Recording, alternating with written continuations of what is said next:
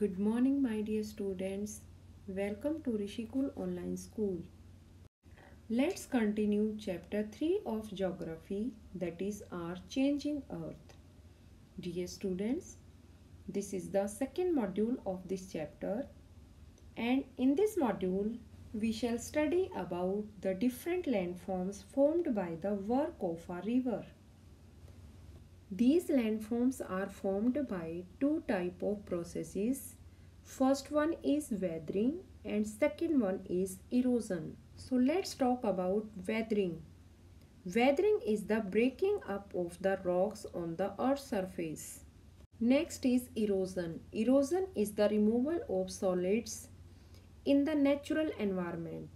It usually occurs due to transport by wind, water and ice.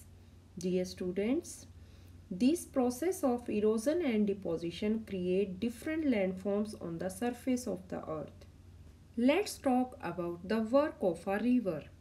Dear students, a river forms different type of features on the earth such as waterfall, meanders, oxbow lake, floodplain, levees, delta, etc.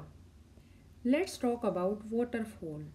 A waterfall is a place where flowing water rapidly drops in elevation as it flows over a steep region or a cliff.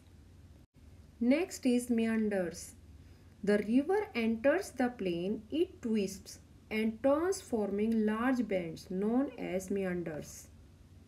Dear students, due to continuous erosion and deposition along the sides of the meander, the ends of the meander loop come closer and closer.